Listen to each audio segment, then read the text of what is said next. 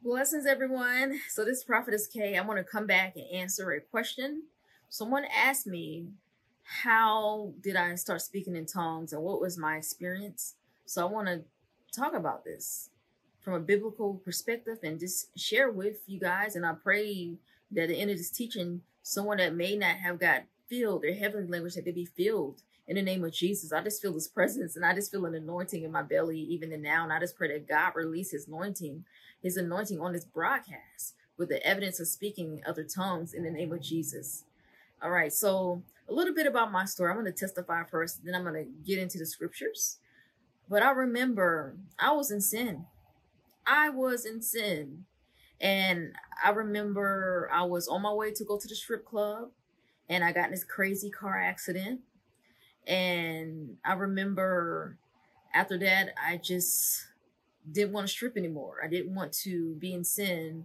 So before that accident, my sister had just got saved and she gave me a Bible and she started having like people come over to the house and they was doing Bible studies and I would just run. It was like, Kimberly, come to the Bible study. I was just like, I'm not going. And I would just run out the house, sneak out the house and hurry up, you know, before they could say anything, just run out the house. And my sister gave me this Bible. I had it in my car for two weeks. I drove around with this Bible in my car. So the night I got in this crazy car accident, the firefighter was looking at the car, shaking his head and looking at me, and he picked up this Bible and said, Here, oh God, here I am. He said, Here, young lady, this saved your life. And he handed me um, the Bible. It was an intense car accident. My four door sedan got smushed in, the back end was smushed in. Credit cards were scattered all across the road. I had an eyebrow piercing that popped off. I had braces at the time. My brace, the rubber bands on my braces popped off. Uh, CDs scattered all across the highway. Credit cards. It was just, it was a mess, and I was severely hurt after that. I went. I had to go to the chiropractor for six months because I had whiplash. I couldn't even turn my neck, and I had crazy back pain. My back pain was just out of this world. It was hurting so bad. But anyways, in that time, I knew that I was here because of God. I knew that I survived because God had something to do with it because God kept me. So I went down to the club, cleaned out my locker, never looked back. So maybe when I was able, like I think I went to my chiropractor appointment, and maybe a week after the accident, I went to this lady's house. She was like a leader or elder in the church. She would come over to my parents' house and do Bible studies, and she invited me. She said, "Here, Kimberly, come over to my house and for a Bible study." I didn't know what was on the other side of that Bible study. I was like, "Okay, let me go." And at this time, I I wasn't in church. I didn't really even have a relationship with God at the time, to be honest. But I just knew that God was ordering my steps. So she invited me to her house maybe a week after the car accident. And I was still in a lot of pain. But I remember just sitting at the table when she started reading Acts chapter 2. Started going over how the Holy Spirit came like clothes of fire, how the disciples were up in the upper room, and how they were speaking in tongues when the Holy Ghost came upon them. And they started speaking and everybody outside of the room thought the guys were drunk. Like, what is going on? And Apostle Peter stood up and he began to say, Hey, this is what the prophet Joel prophesied and told us about. So after this lady began to tell me about the book of Acts, I started to feel the presence of God so strong. I started feeling tears come in my eyes, and I tried to fight back the tears, but I couldn't control the tears because God was just moving on me in such a powerful way. And she took her hand, she put her hand on my forehead, and out of my mouth just erupted this language, this foreign, this foreign language. Rama, Rushia, this it was just like this deep. I just couldn't. I couldn't stop, and I began to speak this language. I'm like, and I was just crying, and I think I spoke it like maybe five minutes straight. Yeah, da, da, da, da, da, da. It's like my tongue. It was just, I could feel my tongue. I didn't know, understand. I had my eyes closed. Her head was on my head.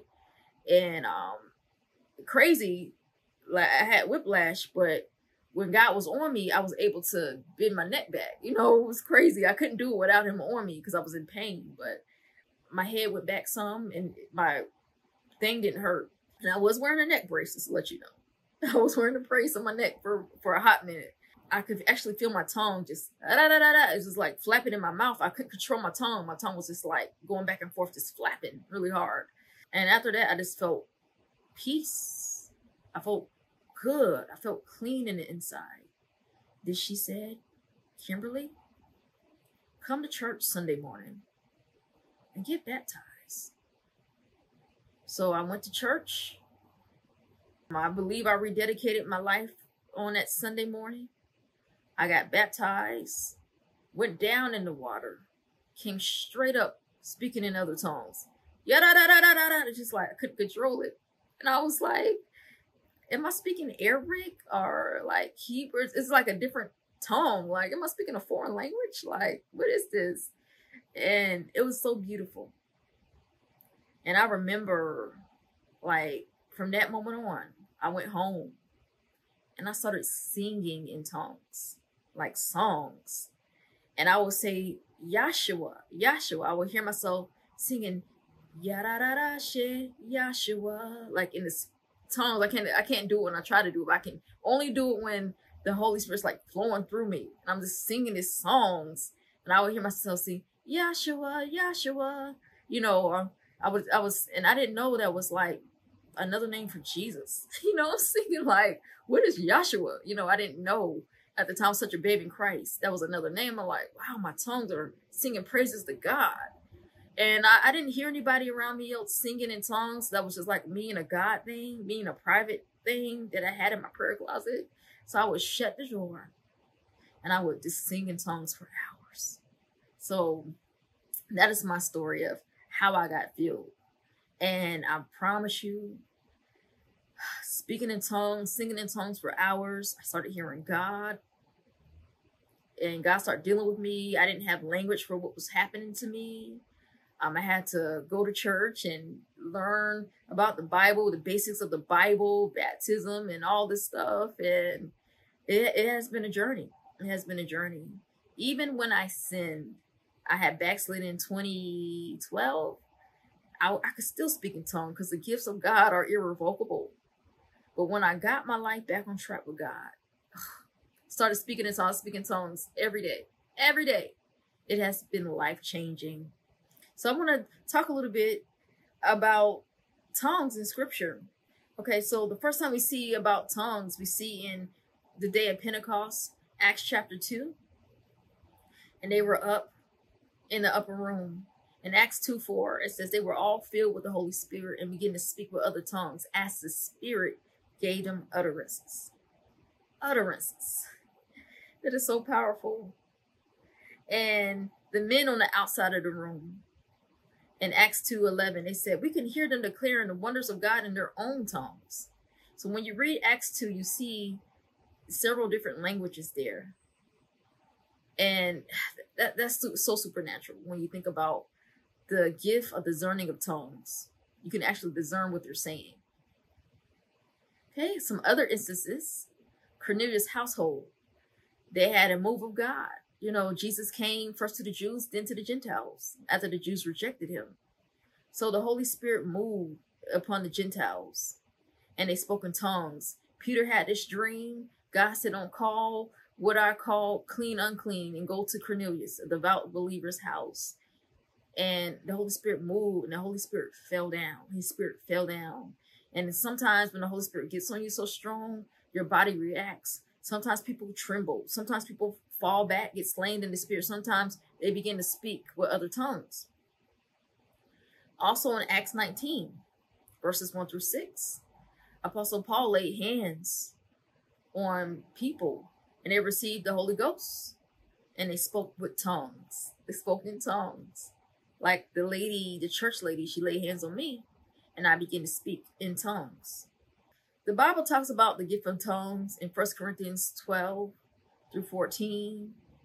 And he breaks that down to one, God gave the working of miracles, another prophecy, another the discerning of spirits, another one diverse kinds of tongues, tongue interpretation. And the Bible also tells us in First Corinthians 14, verse 2, that when we speak tongues, we're not speaking unto men, we're actually speaking unto God, we're speaking mysteries unto God.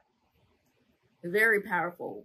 So when we speak in tongues, we're allowing the Holy Spirit to make intercession through us. We're making these perfect prayers of faith, and the enemy can't discern what we're saying. And the Holy Spirit knows how to pray for us perfectly. Amen. So I just wanted to share my experience. Let me know your experience of when you spoke in tongues in the comments. Let me know how it was for you.